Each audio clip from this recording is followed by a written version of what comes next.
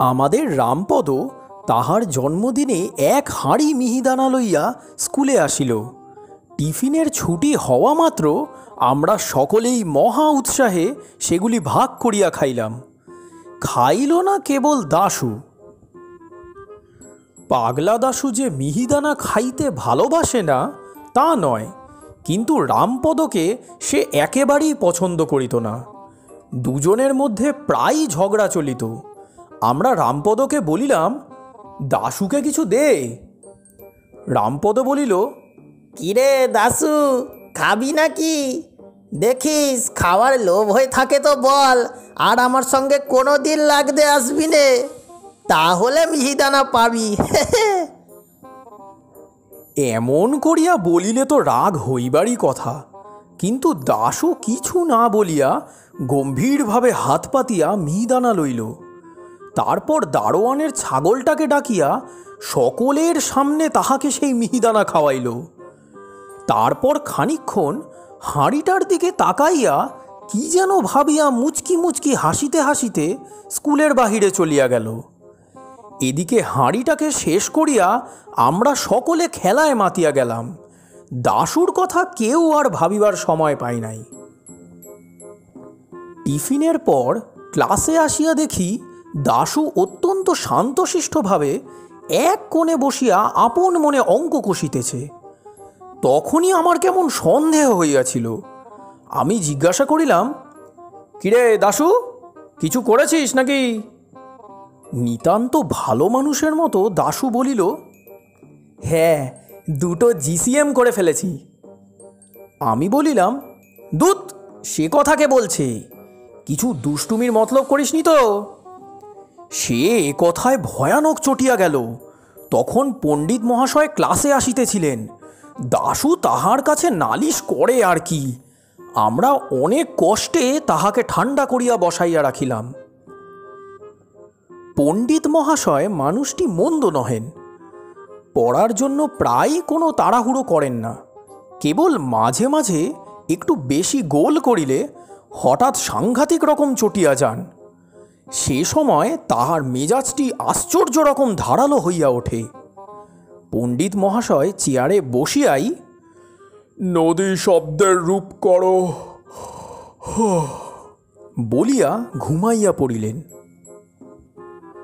আমরা বই খুলিয়া হড়বড় করিয়া যা তা খানিকটা বলিয়া গেলাম এবং তাহার উত্তরে পণ্ডিত মশাইয়ের নাকের ভিতর হইতে অতি সুন্দর ঘর ঘর শব্দ শুনিয়া বুঝিলাম নিদ্রা বেশ গভীর হইয়াছে।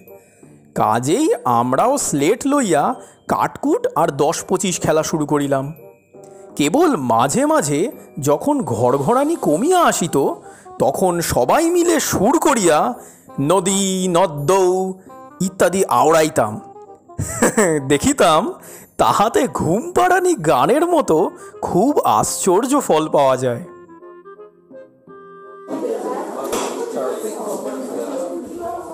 সকলে খেলায় মত্ত।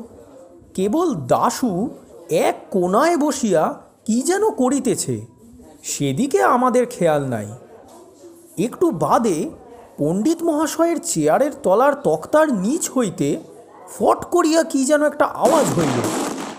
পণ্ডিত মহাশয় ঘুমের ঘোরে ভ্রুকুটি করিয়া সবেমাত্র উম বলিয়া কি যেন একটা ধমক দিতে যাইবেন এমন সময় ফুটফাট, দুমদাম, ধূপধাপ, শব্দের তাণ্ডব, কোলাহল উঠিয়া সমস্ত স্কুলটিকে একেবারে কাঁপাইয়া তুলিল।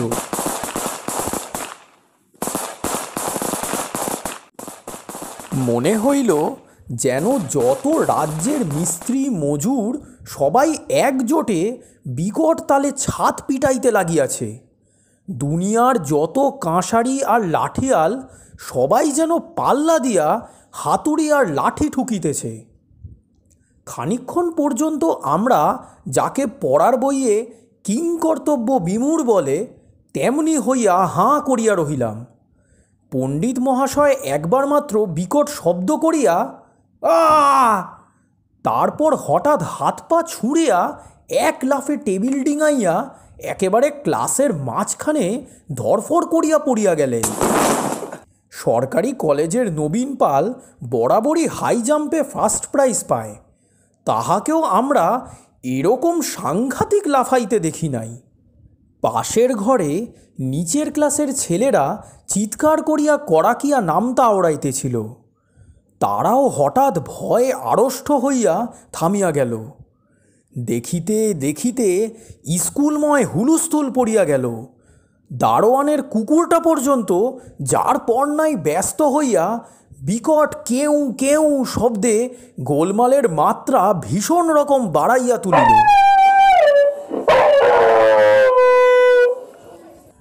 মিনিট পাঁচেক ভয়ানক আওয়াজের পর যখন সব ঠান্ডা হইয়া আসিল তখন পণ্ডিত মহাশয় বলিলেন কিসের শব্দ হইয়াছিল দেখো। দারোয়ানজি একটা লম্বা বাঁশ দিয়া অতি সাবধানে আস্তে আস্তে তক্তার নিচ হইতে একটা হাঁড়ি ঠেলিয়া বাহির করিল। রামপদর সেই হাঁড়িটা। তখনও তাহার মুখের কাছে একটুখানি মিহিদানা লাগিয়াছিল। পণ্ডিত মহাশয় ভয়ানক ভ্রুকুটি করিয়া বলিলেন এ হাঁড়ি কার? রামপদ বলিল আগে আমার। আর কোথা যায়? অমনি দুই কানে দুই পাক। হাঁড়িতে কি রেখেছিলি? রামপদ তখন বুঝিতে পারিল যে গোলমালের জন্যে সমস্ত দোষ তার ঘাড়ে আসিয়া পড়িতেছে। সে বেচারা তাড়াতাড়ি বুঝাইতে গেল আগে ওর মধ্যে মিহিদানা এনেছিলাম তারপর? মুখের কথা শেষ না হইতেই পণ্ডিত মহাশয় বলিলেন তারপর মিহিদানাগুলো চিনে পটকা হয়ে ফুটতে লাগল না? বলিয়াই ঠাস ঠাস করিয়া দুই চর। অন্যান্য মাস্টারেরাও ক্লাসে আসিয়া জড়ো হইয়াছিলেন। তাহারাও এক বাক্যে হাঁ হাঁ করিয়া রুখিয়া আসিলেন। আমরা দেখলাম বেগতিক, বিনা দোষে রামপদ বেচারা মার খায় বুঝি। এমন সময় দাশু আমার স্লেটখানা লইয়া পণ্ডিত মহাশয়কে দেখাইয়া বলিল, এই দেখুন, আপনি যখন ঘুমোচ্ছিলেন, ওরা তখন স্লেট নিয়ে খেলা করছিল। এই দেখুন কাঠকুটের ঘর কাটা। স্লেটের উপর আমার নাম লেখা। পণ্ডিত মহাশয় আমার উপর প্রচণ্ড এক চর তুলিয়াই হঠাৎ কেমন থতমত খাইয়া গেলেন। তারপর দাশুর দিকে কটমট করিয়া তাকাইয়া বলিলেন চোপ রাও কে বলেছে আমি ঘুমোচ্ছিলাম? দাশু খানিক্ষণ হাঁ করিয়া বলিল এ, তবে যে আপনার নাক ডাকছিল? পণ্ডিত মহাশয় তাড়াতাড়ি কথাটা ঘুরাইয়া বলিলেন বটে ওরা সব খেলা করছিল আর তুমি কি করছিলে? দাশু অম্লান বদনে বলিল আমি পটকায় আগুন দিচ্ছিলাম। শুনিয়াই সকলের চক্ষু স্থির ছোকরা বলে কি? প্রায় আধ মিনিট খানেক কাহারও মুখে আর কথা নাই। তারপর পণ্ডিত মহাশয় হঠাৎ একেবারে হুঙ্কার দিয়া বলিলেন, কেন পটকায় আগুন দিচ্ছিলে? দাশু ভয় পাইবার ছেলেই নয়, সে রামপদকে দেখাইয়া বলিল, ও কেন আমায় মিহিদানা দিতে চাইছিল না? এরূপ অদ্ভুত যুক্তি শুনিয়া রামপদ বলিল, আমার মিহিদানা, আমি যা ইচ্ছা তাই করব। দাশু তৎক্ষণাৎ বলিয়া উঠিল তাহলে আমার পটকা? আমিও যা ইচ্ছা তাই করব। এরূপ পাগলের সঙ্গে আর তর্ক করা চলে না। কাজেই মাস্টারেরা সকলেই কিছু কিছু ধমক ধামক করিয়া যে যার ক্লাসে চলিয়া গেলেন। সে পাগলা বলিয়া তাহার কোনো শাস্তি হইল না। ছুটির পর আমরা সবাই মিলিয়া কত চেষ্টা করিয়াও তাহার দোষ বুঝাইতে পারিলাম না। সে বলিল, আমার পটকা রামপদর হাড়ি যদি আমার দোষ হয়, তাহলে রামপদরও দোষ হয়েছে। ব্যাস, ওর মার খাওয়াই উচিত।